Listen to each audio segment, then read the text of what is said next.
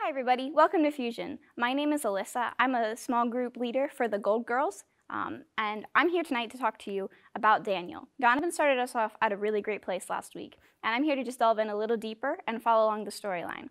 So tonight we're going to be talking about um, talent and gifts and why they're important and how you can use them in a way that is glorifying to God and helpful to those around you. So the story we're looking at tonight is actually straight out of Daniel chapter 2, um, and it's the story of Nebuchadnezzar.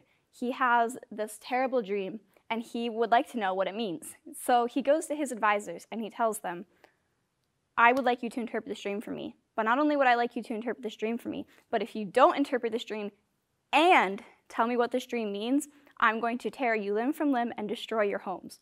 Just a little bit of pressure, huh? So they discuss among themselves how they can get him to listen to reason. And they, they clearly don't know the dream. I don't know about you. I certainly don't know anyone else's dreams. But they go back to him and they say, King, we don't know what this means. And he sends an edict throughout all the land to collect all the sorcerers, magicians, astrologers, all of them, to have them rounded up to be killed because these, these people could not tell him what his dream was, and he was so worried about it. Now, these, the king's army came to collect Daniel, and Daniel asked what the big fuss was. Why are you here for me and my friends? And they explained the situation, and he said, No, wait, I can, I can answer the king's dream. Give me a chance.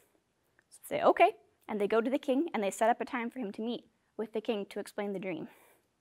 Daniel goes home to his friends, and he explains the situation. His friends are Shadrach, Meshach, and Abednego. Also interesting stories later on that I'm sure we'll get to. But he goes to his friends, he explains the situation, says, This is what's going on. Please pray that God will give me this dream so that I can interpret it and um, save the lives of me, you, and all of these other, other people. And then he, he leaves it with God and he goes to bed. And while he's asleep, God gives him the dream and the interpretation. So he gets up and he goes to his meeting with the king. And this is what it says in Daniel chapter 2, verses 26 through about 28. The king declared to Daniel, whose name was Belteshazzar, Are you able to make known to me the dream that I had, I have seen, and, and its interpretation? Daniel answered the king and said, No wise man, enchanters, magicians, or astrologers can show to the king the mystery that the king has asked.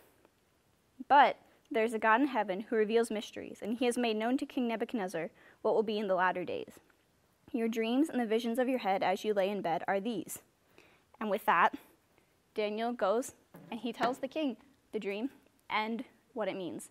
And the king is so blown away by the fact that Daniel was able to do this that he piles treasure on him. He shoots him up to the highest ranks in the court. And of course, Daniel, being the great friend he is, brings his other friends along for the ride. But not only that, but Daniel, in doing this and explaining that his God is the one who gave him this ability and this interpretation and the dream itself, that he's able to get Nebuchadnezzar to worship the one true God as well and to really just hone in on that fact that this was a gift from God. And here are the points that I'd like to make to you guys tonight. Number one is kind of a side note, but I don't think it's a side note. I think it's really important. when Daniel found out what needed to be done to save the lives of him and his friends and all these other people, he goes right to his friends. He explains the situation honestly, and he says, Please pray for me. Daniel had the kind of friends who stood with him in this trial and did all they could to help him and support him. When you have a gift, be it a little gift or a huge gift, God has given you community for a reason. We need to be together with our friends, supporting each other and helping each other in every way that we can. Point two God has given you your talents and your gifts for a reason. No matter how big or small those talents are, he has a plan for you to use them. Daniel had the gift of dream interpretation. Daniel did not have the gift of knowing what a dream was.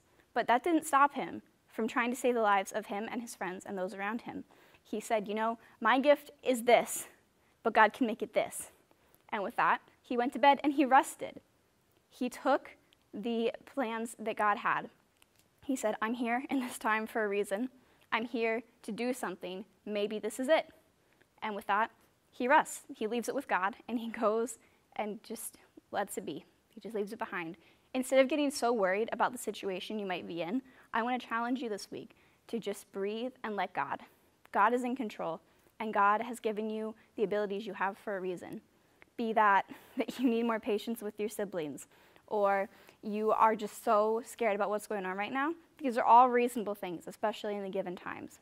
But God has given you a little bit of patience, and He's given you a little bit of courage. So let Him make that a whole lot of patience and a whole lot of courage. And lastly, find your spiritual gifts. Daniel had the gift of interpretation, which is actually a spiritual gift in the Bible, in the Old Testament. So look in the New Testament, I think it's Second Corinthians, and find the list of spiritual gifts. There's tests online. You can talk to your friends, talk to your family, ask them what they think your gift is, and then hone in on that. See what you can do to amplify that gift from the little bit that God gave you naturally to the lot of bit He can do with it. Thanks for being here, guys. Have a great night.